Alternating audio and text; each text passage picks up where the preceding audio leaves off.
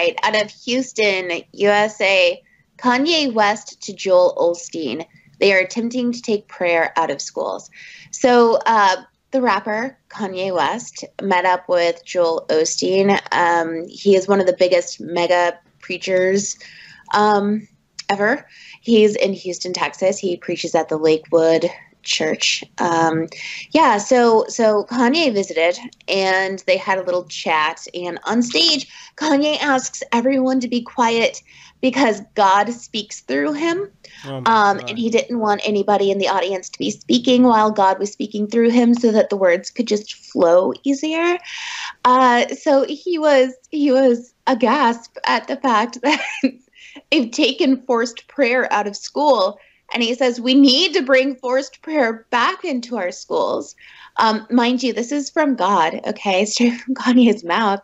Um, he says, the more and more this country follows Christ and sets example that we are a Christian country, you know, they are attempting to take prayer out of schools. When you remove the fear and love of God, you create fear and love of everything else. But let me break that down, not in a negative way, but a positive way. Reinstate the fear and love of God and eliminate the fear and love of everything else. I feel like Kanye just wants to be God. Didn't he say he's God? He said, "I am God," and I think he. Did he? Yeah, he uh, way back. Like how do and now, I think that I think he just wants to really be worshipped, and he just using every different. I'm not sure actually, but but this is what do you guys think about his newfound love for Christianity and Jesus? Is he gonna bring? Is he gonna make Christianity cool again in the United States? No, no, he's not. But what he his ultimate agenda. I don't know if anyone has been following Kanye news. I typically don't, but it's been showing up in my news feed a lot lately. Um, he wants to run for president in 2024. Yeah, yeah. Um, and he's been hanging out with Trump um, everyone has, has seen that, so this isn't a secret. Uh, and he's also seen how much the Christians have done for Trump. So if the Christians, you know, were the backbone of the Trump right. presidency, they're going to be the backbone of the Kanye presidency. If he starts preaching like he is, he's doing great. And and I'm sorry, but America seems so dense when it comes to what we need for I mean, our our government. Uh, yeah, it, it wouldn't shock me. Yeah, I mean, he has everything going for him. He has a celebrity st- status. He now has the Christian angle going for him. But I, I feel like he's mu- very much like Kanye is very like my uh, like Trump in a way that he just has to be not just the center at- of attention, but the number one center of attention. Like nobody, yeah. like anybody outshining you in any way it just bothers you. You know, I mean? and there have been a lot of people that have been pointing out lately. Old Scratch mentioned it here in a comment, but uh, other reporters have also been hinting around the fact that they really think Kanye needs to get some mental health yeah. help. Um, and I mean, every, everyone should at one point or another, but I think that he definitely might have something going on too. Okay, but but do you guys think like why do you think he's not gonna like? Is this not a dangerous way of making Christian like he's a a huge pop culture idol and he's now found Jesus, apparently. Is he not going to make Christian like with Generation Z people? You know, are they going to become like because we're trying to reach out to Generation Z, and we're trying to do our activism on Generation Z with very, very, very few limited resources. And we always thought that the competition is very unfair and one-sided against us.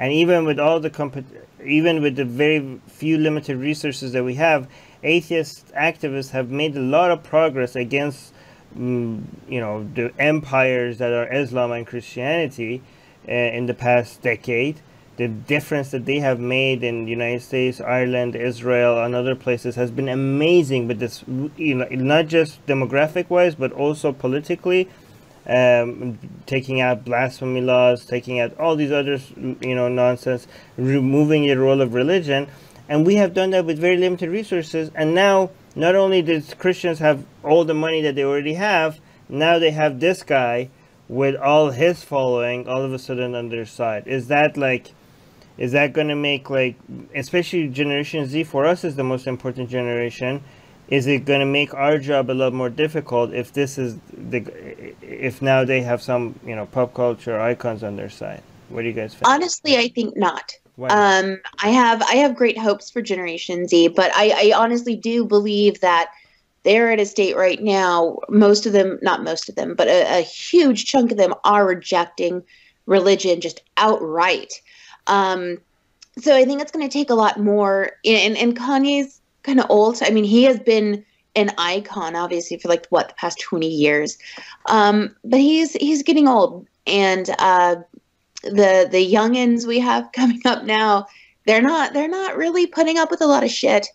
Um, from what I've seen, from what we've seen from what Gre- Greta, um, and you know, just a lot of other you know younger people. There, I don't think I don't think this is going to fly. I think that if he does use this successfully, it's going to be on the people who already are religious um, that might turn to Kanye. But I don't think that he is going to turn people that aren't religious to him. By the way, uh, can I can I speak for Gen Z?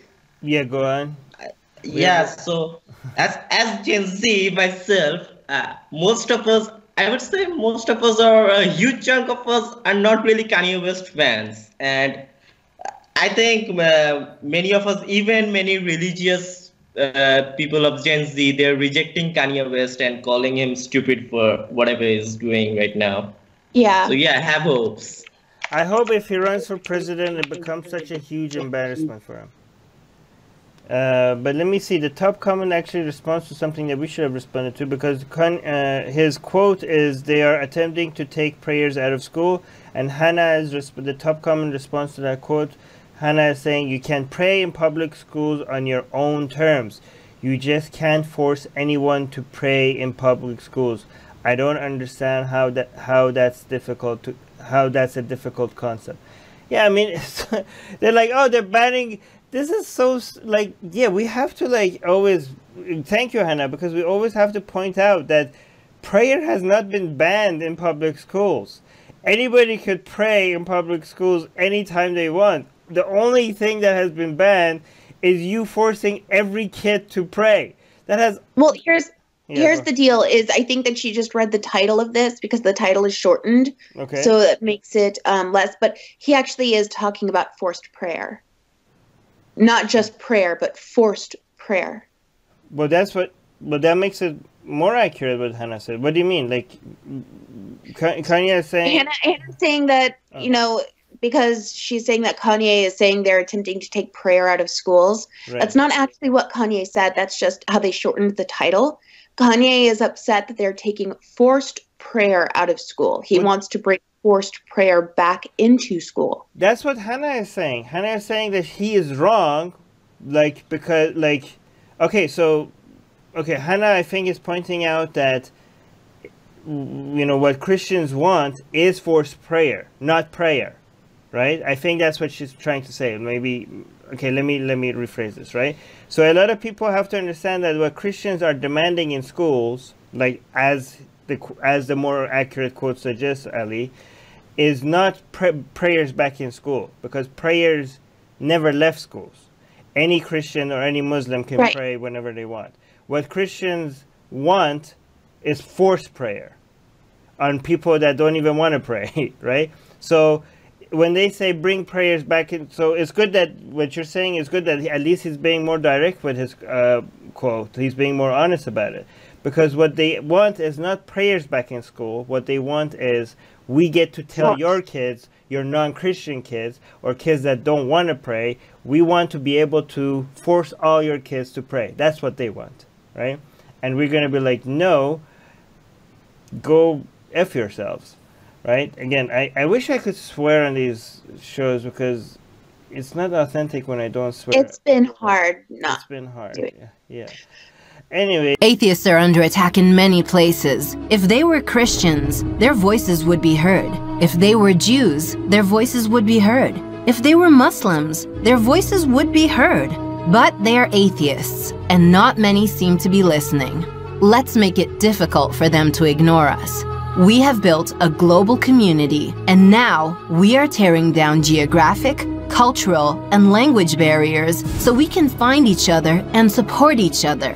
In the last decade, we have built the largest atheist community in the world. Now we're doing the same in other languages. With your help, we have started Atheist Republic in Persian and Arabic. انضميت مؤخرا لأسرة Atheist Republic وحيصير عندي بودكاست باللغة العربية As we grow, we can dedicate more time, staff, and resources to start doing the same in Spanish, Portuguese, Malay, Bengali, Urdu, Hindi, and other languages. We are providing community, support, informative content, and amplifying the voices of those who need protection, especially in countries where people feel isolated simply for their lack of belief.